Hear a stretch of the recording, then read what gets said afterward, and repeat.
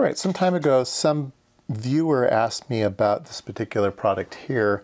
I did a video on return loss bridges and he said it was a shame we didn't open it up and show us the inside. Uh, it has some uh, RF transformer balun type things in it and he wanted to see that. So we can take it apart today and I'll show you that.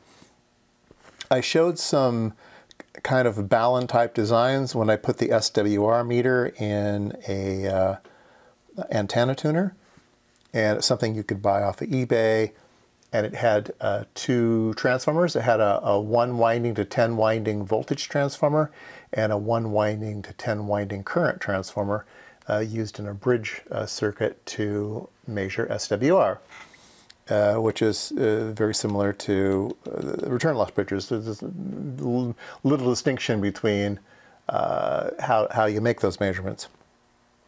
So there are uh, return loss bridges and then there are couplers. You can measure return loss with a coupler or you can measure return loss with a bridge. And I talked about couplers once before. I talked about uh, microstrip design couplers where there's a, a parallel conductor next to the transmission line that couples some of the energy and it brings it out onto the uh, third port. This one acts uh, the same way, but is designed a little bit differently. So we'll take a look at that one. And then this is a return loss bridge that I recently acquired, acquired from a viewer uh, donation.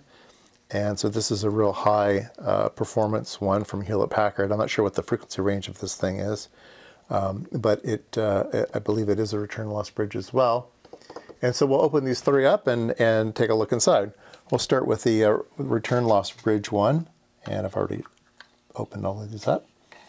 So the inside of this one is basically a uh, microstrip version.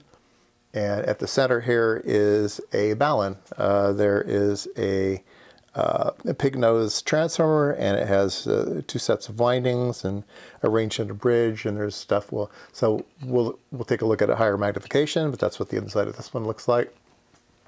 Almost looks like a proto board, but it's not. It actually is strip line uh, strip line layout and or microstrip layout, and uh, these are just stitching vias for grounds.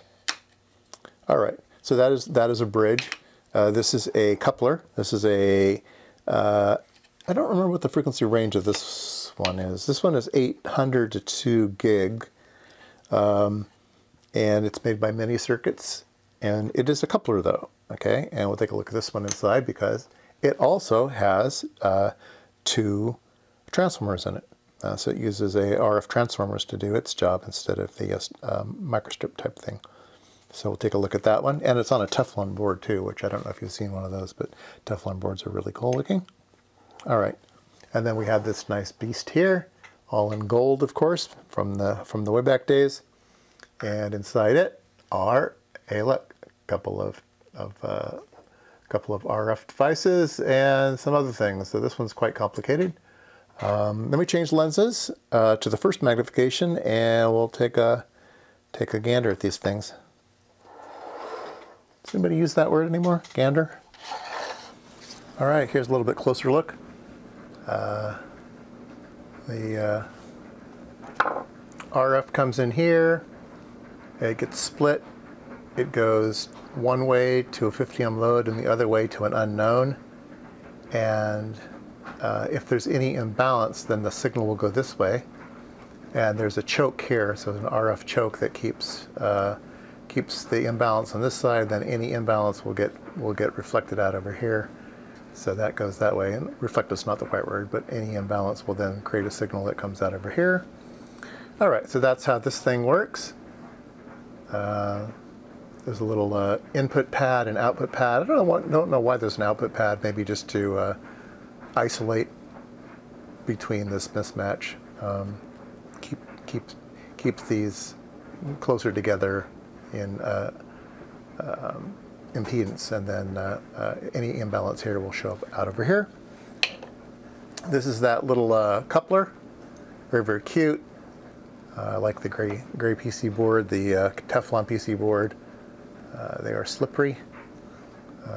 don't want to touch this one, but they feel slippery. And so it has a little circuit here that's uh, um, the input and the output is just a, a, single wire through through one of the toroids. So this is this looks exactly like the little SWR bridge that I showed before, um, a much bigger one. But basically, there's a, a one a one to something. I don't know if it's one to ten, but there's like a one to ten transformer here and a one to ten transformer here. There's a there's a, a one turn here and one turn here, and then they're they're coupled together, like cross coupled together. And then on this side, there's a 50 ohm load and then an output. So uh, uh, coupler made out of these discretes. This is a very, very nice one. This is good from uh, 800 to 2000 megahertz. And then we have this beast. It's very, very cool. Uh, again, here's the big N connector. Signal comes in. Uh, it gets balanced here against a 50 ohm load, I believe and then uh,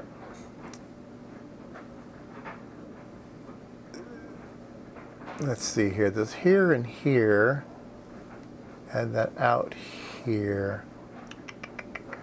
So the way that I think this works is this is the input. There we go. I think I think I know how this works now. This is, this is the in, input connector here. So the RF energy comes in here, and then it gets split. Okay and part of it goes this way and part of it goes this way. And the part that goes this way sees a 50 ohm load way, way down in there. We'll see that when I get to the microscope. And then the, uh, uh, the other uh, path comes this way and it should see a 50 ohm load out here. And if it doesn't, it causes an imbalance and then the signal will go this way. And then there's a, a choke uh, to keep any RF from entering that way on the outside of things, and and it, and uh, this is a coax. This is not wire. This is coax. Uh, very very small diameter coax. Very very very small diameter coax. Anyway, it comes this way, and then it gets it gets sent out over this way, and there's a bunch of weird weird voodoo filtering and stuff, and um, it gets sent out over here. And then there's also this weird DC path that I don't understand. There's a DC path that comes in here, goes through this choke, down into here, and then out this side, through a choke, and then to ground. So I, I don't know what that weird DC path is, if that's just a way to measure the SWR. Um, and then this is a, I don't know. I'm kind of lost on this thing. I don't know. But uh, then there's this interesting circuit over here that's completely separate. Okay, this is uh, its own little thing. There's an input here. It comes here to a uh, attenuator, and then it comes out here into a choke, and then it comes out here to a splitter. Or these are a combiner. Two signals come in, they get combined, they go through a choke, and then they get attenuated and come out. I don't know, it could work either way, I suppose. Anyway, let's go, let's go to the microscope and uh, take a closer look at these things. All right, so this is the uh, 50 ohm, or the uh, N connector that comes in, and it comes into the that glass board. So here's that glass board with um, with this tapered transmission line. So there's a ground underneath it, so it's microstrip. And it comes in, and then it goes to this point here, which I don't quite understand. and uh, it is a very delicate. So at the top is the little coax, and at the bottom I think it's just a wire um, of the same diameter. So I don't know if you can see in the video here, but there's a tiny little coax that goes to that center pin, that center pin. And then there's some, these two capacitors sitting on edge down at the bottom there. They're actually electrically isolated, or not isolated, but electrically separated, but tied on the left-hand end. And then that transmission line continues and then goes to, I believe that little black little stripe at the very, very end, there's a 50 ohm load at the other end. So that's pretty wild. And then it makes this journey where there's one path this way and uh, This is the, uh, this is that RF choke to do that DC thing at the center point here. And then on this side, there's another RF one. Anyway, those two chokes then meet up here. And so again, once you can see the center conductor of that little coax goes on to the right and it goes into this little feed here through a capacitor and then out to that connector. Um, and then there are, uh, the ground is then connected through these capacitors uh, to that other strange signal that goes through the other. I don't know. It's like they've separated grounds, but then they've combined them with capacitors. Um, maybe the separation of the with those capacitors is due to that DC bias that's in there. Maybe they needed the RF ground to go through, but they needed a DC ground as well. Maybe that's what those, all those capacitors are doing. I really don't know. Anyway, uh, on, on the ground side of the RF choke, uh, it goes to, I believe, a DC ground and then also an AC ground. So that capacitor, I believe, creates an AC ground to that to that screw, and then I believe that little strip over there is also a DC ground. So, yeah, go figure. And then on the other side, that one comes out, uh, and it goes through a, pin that's a uh, a DC block on the outside, and then it also has a capacitor to ground. So it has a DC reference to ground as well. So I don't know.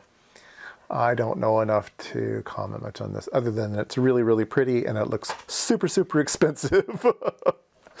All right, so let's look at the other side, which is a totally separate circuit. All right, so on this side over here, there's that little spool of coax. All right, let's start over, let's start over on this side here. All right, so there is some connector here on the outside, an SMA. And it comes in again to these little taper transmission lines on. So this is on glass again. And it goes over here and there's a resistor to ground and then a resistor crossed and a resistor to ground. So I believe that's a pad. So there's some type of attenuation pad coming in. And then it follows along this way. And now it's going uh, into that spool of wire. All right. That's coax.